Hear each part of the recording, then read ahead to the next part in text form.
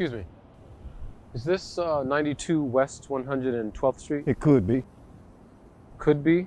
It depends on what you're here for. Are you Arnold Stewart Jr., building owner and manager of this residence? I could be.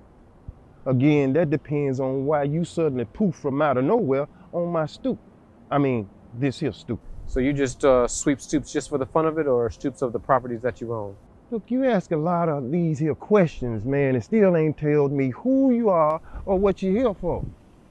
Miles C. Richardson IV, Chief Supervisor of Inspections for the City of New York, Manhattan District Number mm. 9. It's been reported that there are several residents here who've complained about fixtures that are in need of repair. What building in this neighborhood ain't in need of some kind of repair? Sir, I'm not here to report other buildings in this neighborhood. I'm here to report repairs needed at this one. Now, is there anyone here who can tell me whether or not Mr. Stewart is here and available? He's here, brother. Believe me, he's here. Oh, so you just coming up here trying to pick a bone with me? I mean, with Mr. Stewart. I'm not trying to pick anything.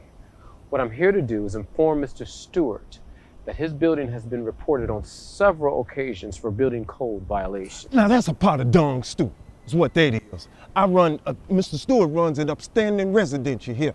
Well, some of the residents would beg to differ in opinion.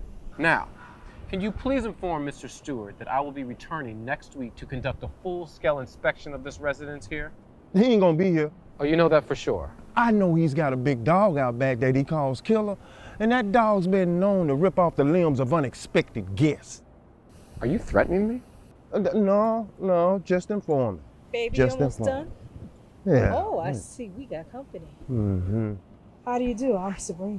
I've got to finish my sweeping here.